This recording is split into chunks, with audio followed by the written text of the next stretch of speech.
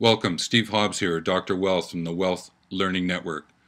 You're viewing the Dear Manager Leader series of videos. This is number 20 of 21, where what we do is inspire, improve, and strengthen your managing and leading on a day-to-day basis.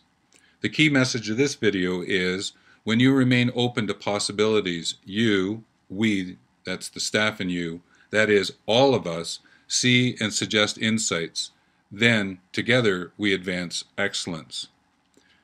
Every day, there are real situations you face, and shift is present in all of those. And how you and your staff deal with shift hinders or helps your workflow. Therefore, patience, flexibility, and discretion will be your constant companions. Your path is to stay present when around you things seem to be going off the rail, slipping sideways. Therefore, guide your staff to remain focused and open as well, for they will see additional insights.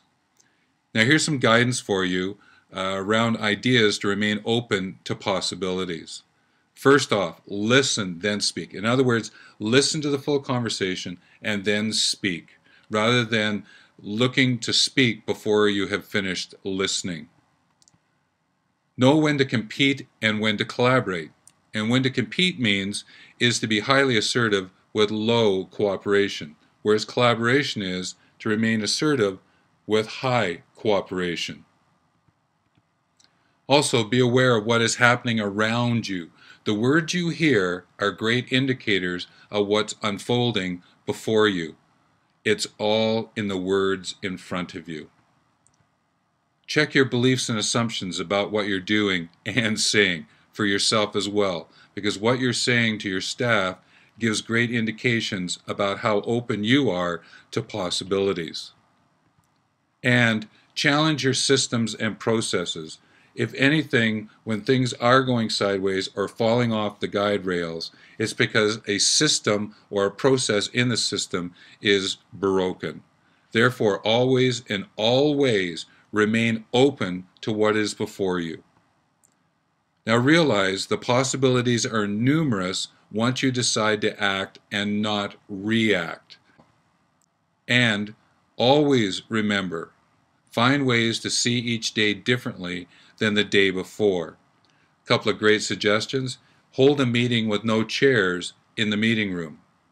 Also, walk backwards into your office. You'll see it from a different perspective. Now, with what I've shared in this video, if you have questions about the content of the video and or want to chat about managing leading requirements and requests in your workplace, then book a virtual coffee meeting and we'll connect for 15 minutes or more. The website address is listed below. Also, the coordinates to get a hold of us are the website, the blog, Twitter, Facebook, and email. And we always appreciate hearing from you through email. Also, if you're looking for book and resources, here's the website address as well. Now, on a formal basis, what we've heard over the years, and especially this year, is the following from your staff. Dear Manager Leader, it's important you remain open to new possibilities as you learn what's necessary for us to work together. Take care.